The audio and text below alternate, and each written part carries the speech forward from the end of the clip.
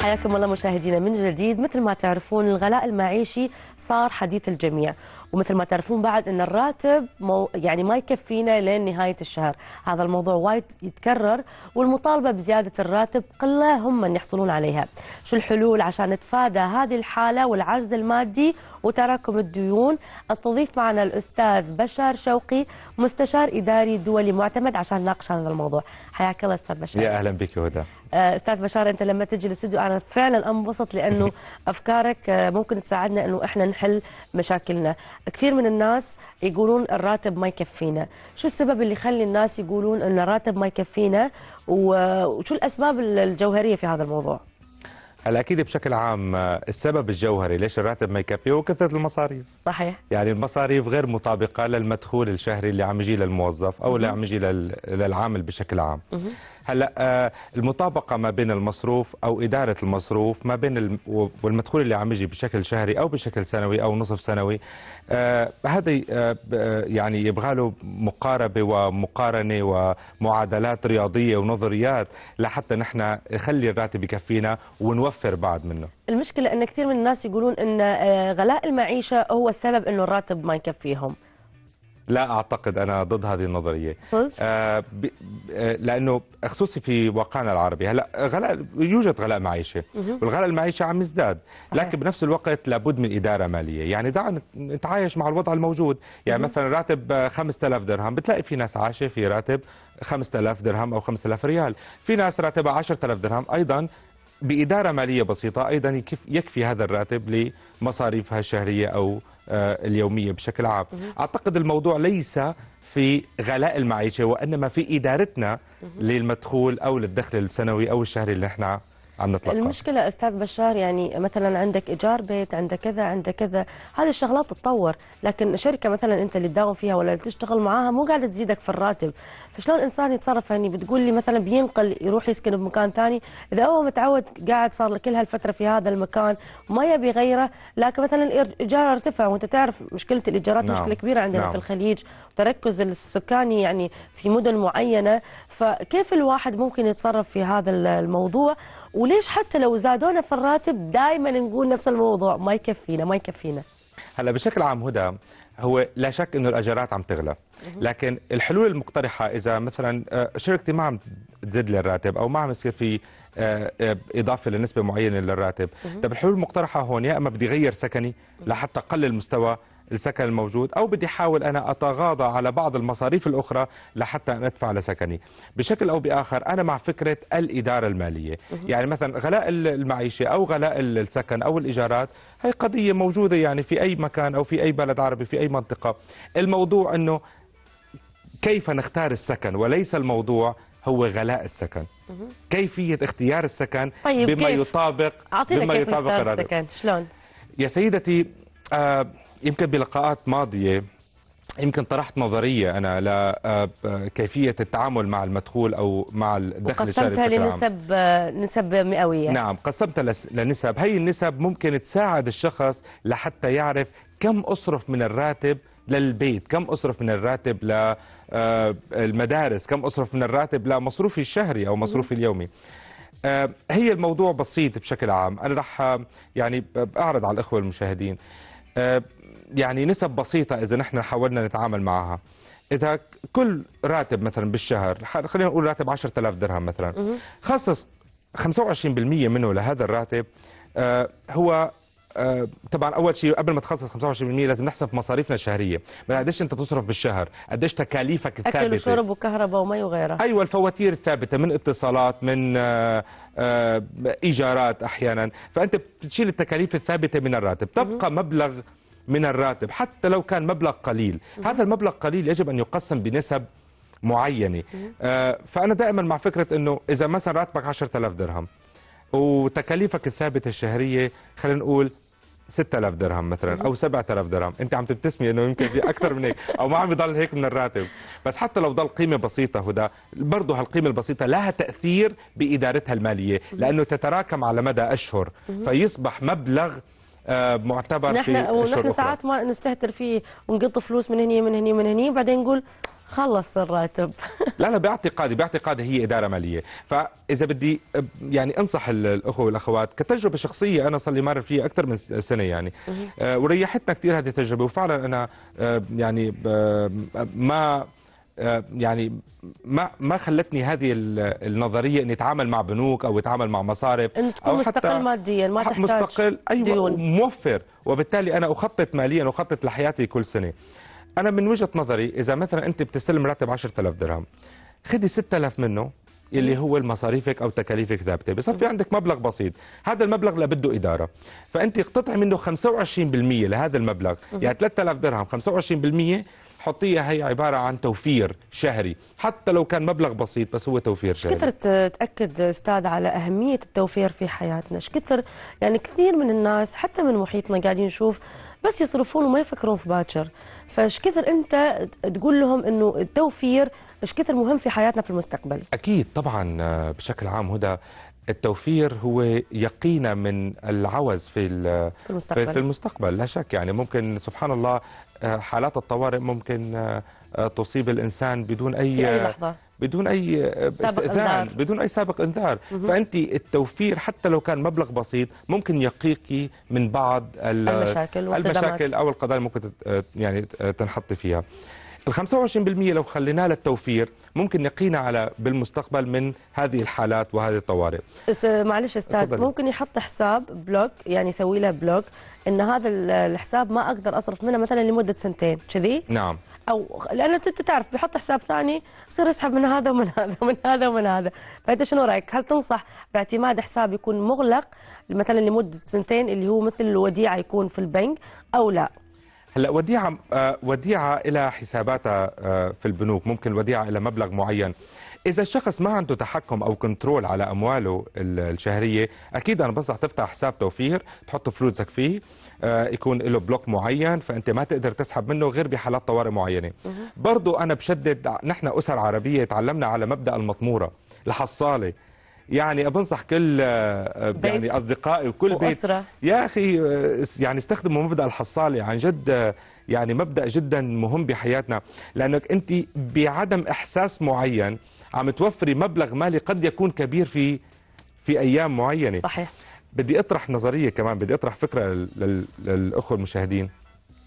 ال 25% اللي بتوفرها انت من الراتب حتى لو كانت مبلغ زهيد ممكن يكون لها أثر كبير في المستقبل. في 25% ثانية هي خليها ل ال ال آه، آه، يعني لحتى تجدد فيها حياتك. بما. معناه سفر آه، تستأنس فيها مثلا؟ إيه مثلا هال 25% هي ممكن أنت تستخدمها يا ستي لدراسة معينة؟ يعني قديش الناس عم تدور لتدرس دراسة صحيح، صح ولا لا؟ صحيح، صحيح. لحتى مثلا تدرس شهادة معينة أو لحتى آه، بتتطور في لغة معينة. لا معنى أنت تحط مبلغ لحتى التطوير الذاتي. التطوير الذاتي يشعرك كمان بالثقة بالنفس وممكن على المدى الطويل يأثر في زيادة مردودك حتى المهني. صحيح. يعني أنت لو بتخصص مبلغ لإلك بالذات لتطويرك الذاتي هذا المبلغ حيتضاعف فيما بعد على الصعيد المهني حلو. أو الصعيد الشخصي. صح أستاذ؟ بشار آه، في آه، البعض من الاقتصاديين اقترحوا انه الانسان يعدد مصادر دخله. يعني بدل ما اشتغل بشغله واحدة افتح لي مشاريع ثانية بزنس يعني يشغلون آه، عقلهم شوي ويحاول يكون عنده مصادر ثانية للدخل. هل انت تأيد هذه الفكرة؟ وإنه الإنسان يكون عنده مصادر متنوعة للدخل أو إنه الواحد لازم يثبت على دخل معين ويمشي عليه؟ والله هون شوفي بشكل عام هدى في وجهتين نظر. آه، وجهة نظر يا ترى أنت إذا نوعت مصادر دخلك هل حتحط نفس الجهد المبذول بكلا المصدرين؟ يعني أنا دائما أؤمن بنظرية أنه على حسب آه، يعني جهدكم ترزقون. خليني صحيح. غير بي آه، صحيح. فأنا من وجهة نظري انه آه، okay أنت عندك مثلا مصدر دخل معين واللي هو من خلال عملك المهني. أنت باذله جهدك فيه هذا الجهد لا ي... مش فقط هو في ال... في وقت الدوام. أنت عندك تحضيرات معينة تحضيرات شخصية عندك تحضيرات آه، مهنية عندك تطور عندك حتى على صعيد المعلومات فيك في بعض الأحيان. أكيد. يعني أستاذ بشار أعطيك مثلا مثال آه، شخصي. يعني مثلا عندي برنامج سيدتي أحاول إني أكون موجودة فيه وعندي تصوير أعمال آه، تلفزيونية. فيصير المجهود إنه أنا أحاول كثر ما أقدر هني أعطي كل مجهودي في نفس الوقت أبي أعطي هني.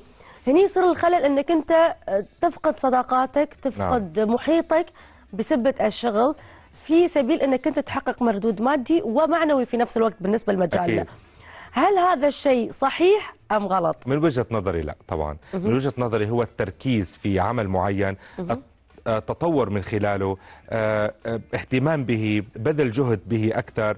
آه، هذا الموضوع ممكن يأثر للمستقبل أنت صحيا يعني على الشخص. صحيا على صعيد العلاقات الاجتماعية حتى على صعيد المعرفة. يعني أنت لما بتتطور بعملك أكثر أنت بتكتسبي خبرات أكثر أيضا. عدا عن ذلك رضا أرباب الأعمال عليك. هم راضيين تطمن فبالتالي هذا الرضا ينبع من جهدك الملموس جهدك المحسوس من خلال التحضيرات اللي أنت بتسويها والتخطيط لعملك ولنجاحك وللإنجازات الظاهره عليك. فبالتالي أرباب العمل أيضا ممكن يعطوكي الأولوية لحتى يزيدوا لك راتبك أو يرقوك أو إلى آخره. أنا مع فكرة التركيز. يعني ركز بعملك ركز بشغلك ركز بجهدك يا أخي.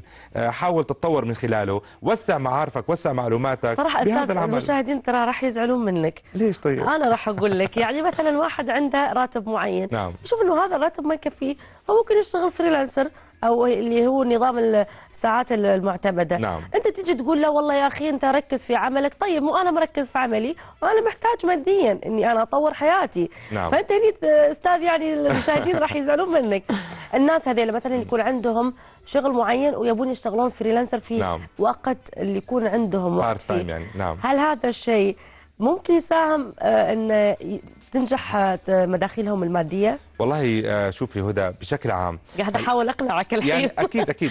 لا أنا يعني مهتم بوجهة النظر هي بس أنا عم فكر فيها على المدى الطويل. يعني أنت مثلا عندك عمل معين okay بتخلصي دوامك الساعة 5 أو 6 المساء. الوقت الباقي للساعة 11 أو الساعة 12 بالليل عندك فاضي. ففي بعض الناس تستغله في أداء أعمال أخرى ممكن يزيد له الدخل ولو بنسبة قليلة جدا. لكن من ناحية أخرى هو كمان عم ياخذ وقت من وقته الشخصي صحيح. من راحته من صحته من آه، قراءته من مطالعاته من رياضته. فبالتالي عم تلاقي الناس اللي تريد أن آه، أو التي تعمل عملين بنفس الوقت أو تبذل جهد أكثر من طاقتها بتلاقي يا أخي عم يهرم على بكير. والله. عن جد عم يأثر على صحته وعلى علاقاته حتى. حتى عم يأثر على إنجازاته المحددة بمجال معين. الشخصية ممكن تكون بعد تأخير أكيد. تأخير الزواج تأخير تكوين أسرة وبيت. أكيد تأثيره على أولاده وعلاقاته مع أولاده إذا كان متزوج اذا كان لم, لم يكن متزوج حتى تأخيره في الزواج. عدا عن ذلك هدى في شغلة كمان مهمة. آه، أيضا آه، عدم التركيز في عمل معين آه، يقلل من إنجازاتك في أداء هذا العمل. منو قال لك أستاذ انه الواحد ما يقدر يركز؟ كان أنا معك سيدتي مركزه في اللوكيشن ومركزه ما شاء الله عليك في حالات خاصة. يعني. أنت حالة خاصة هدى. في حالات خاصة أكيد لكن أنا كمان بنصح يعني من وجهة نظر منطقية من مبدأ من مبدأ إنساني. أعطينا الحل لابد الزبدة. الحل يا سيدتي هو بالإدارة المالية. يعني من وجهة نظري على قد بساطك مد رجليك. يعني أنت كان ب 1000 بتعيش واللي ب 10000 شخص بيعيش وصدقيني التوفير هو ذاته والمبدأ هو ذاته. يعني أنا بتذكر نفسي أول شغل اشتغلته بحياتي كان 3000 درهم. كنت عايش ومرتاح و... ومبسوط. ومبسوط وعم وفر منه. بس غيرت لما... الدنيا معلش أستاذ يا سيدتي يعني كمان زاد راتبي كمان تغيرت مصاريفي كمان تغيرت ما عاد اسكن باستوديو صرت اسكن بغرفة وصالة.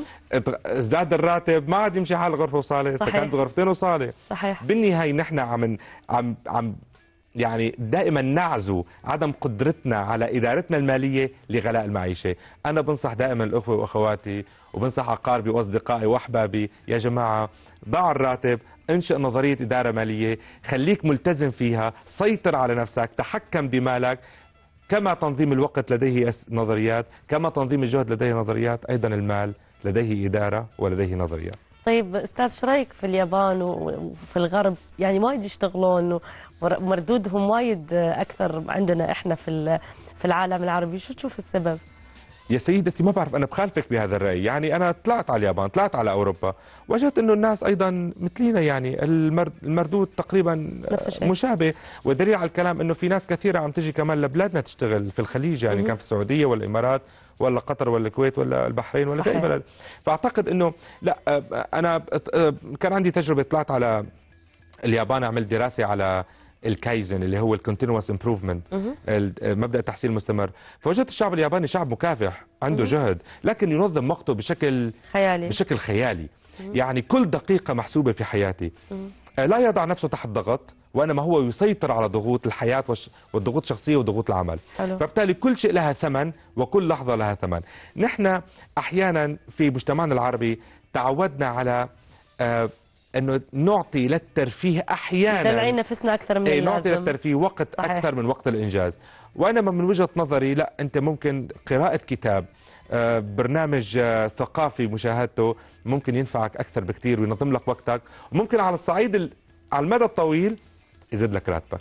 صحيح ممكن يعطيك ألف عافية الله أستاذ. بشار. شكرا لوجودك معنا وراح نشوفك أكيد في حلقات جاية. أكيد بعيوني. يا أهلا شكرا بيكي. يعطيك شكراً. مشاهدينا بعد هذه الفقرة راح نروح فاصل وعندنا الكثير ولا تنسون معنا اليوم النجم السعودي عبد العزيز المليفي لكن بعد هذا الفاصل تابعونا.